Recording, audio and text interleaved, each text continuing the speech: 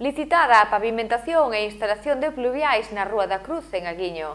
O Concello de Ribeira licitou esta nova actuación consistente en mellorar a pavimentación e instalación da rede de pluviais nesta zona de Aguiño.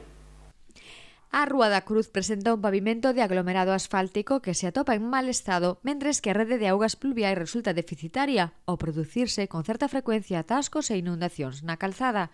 Para poñer solución a estas seivas, técnicos do Concello redactaron un proxecto que inclúe varios traballos, como é a instalación dunha nova tubase de pluviais de 315 mm de diámetro e 368 metros de longo no centro da calzada, con arquetas sumidoiro nos laterais. Haberá 10 pozos de rexistro cada 40 metros aproximadamente. Pavimentación realizarase con mestura bituminosa en quente.